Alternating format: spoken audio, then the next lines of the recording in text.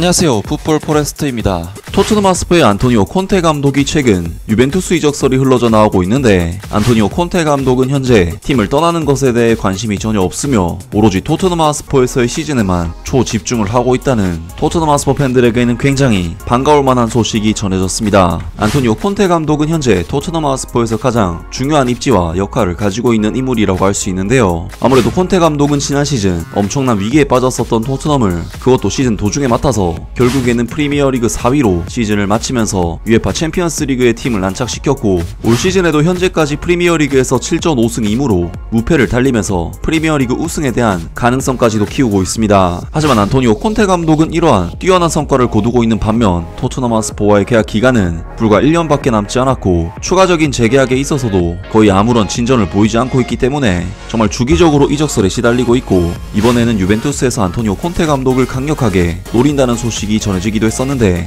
디아 슬레틱의 제임스 모 기자의 팟캐스트에서의 발언을 인용한 영국 HRTC의 소식에 의하면 안토니오 콘테 감독이 유벤투스의 관심에도 불구하고 토트넘 핫스퍼에 남을 확률이 굉장히 높다는 소식이 전해졌습니다. 더 레인 팟캐스트에서 제임스 모는 안토니오 콘테와 유벤투스를 연관시키는 소문에 대해 판결을 내렸다. 이 이탈리아 감독은 토트넘 핫스퍼에서의 이적과 연결되는 것이 결코 멀지 않으며 일부 사람들에 따르면 마시밀리아노 알레그리에 대한 압박이 높아짐에 따라 현재 유벤투스 감독직의 후보가 되었다. 물론 안토니오 콘테 감독은 과거에 유벤투스를 감독했기 때문에 이러한 소문에 대한 약간의 중대성이 있을 수 있지만 제임스 모에 따르면 안토니오 콘테 감독은 유벤투스와의 첫 번째 임기 이후 관계가 악화되었기 때문에 토트넘 하스퍼 입장에서는 크게 걱정할 필요가 없다. 제임스 모는 콘테와 유벤투스에 대해 알고 있는 것을 공유했다. 내가 말하고 싶은 것은 콘테 감독이 유벤투스 감독직에 관심을 갖는 것과 유벤투스의 최고 고위부들이 콘테 감독을 되찾기를 원하는 것은 차이가 있다는 것이다. 왜냐하면 나는 콘테의 관계가 그가 떠난 시점에서 우호적이지는 않았다고 생각하기 때문이다.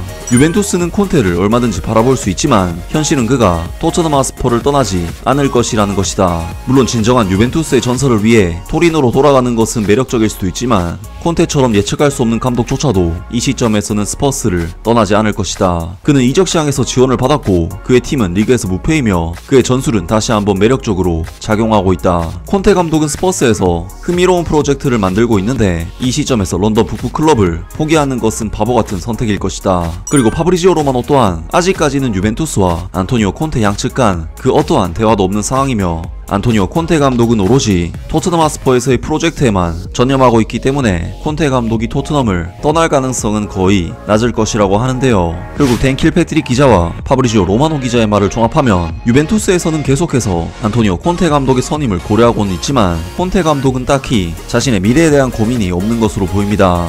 하지만 콘테 감독이 정말로 토트넘 핫스퍼의 프로젝트에 집중하려고 한다면 토트넘 핫스퍼와의 재계약을 맺는 것이 자신의 모든 이적설을 잠재워버릴 수 있는 가장 간단한 방법이기 때문에 재계약을 맺는 것이 어떨까 싶은데요. 아무래도 팀의 감독에 대해서 계속해서 이적설이 나오는 이런 상황은 토트넘 하스퍼 선수들에게도 충분히 동요가 될 수 있는 소식이고 팀 분위기를 흐트릴 수도 있는 잡음들이기 때문에 콘테 감독이 토트넘에서 진정으로 성과를 얻길 원한다면 깔끔하게 재계약을 해서 진짜로 토트넘 하스퍼에 전념할 수 있는 상황을 만드는 게 어떨까 싶습니다. 토트넘으로서는 해리케인도 그렇고 콘테 감독도 그렇고 계약 기간이 얼마 남지 않은 것이 정말로 엄청난 컴플렉스고 빨리 이 두 사람의 재계약을 결정지어서 다른 잡음이 발생하지 않도록 조치를 취해야만 할 것 같습니다. 아무튼 오늘 영상은 여기까지고요. 영상 재밌게 보셨다면 구독과 좋아요 그리고 댓글 부탁드립니다. 감사합니다.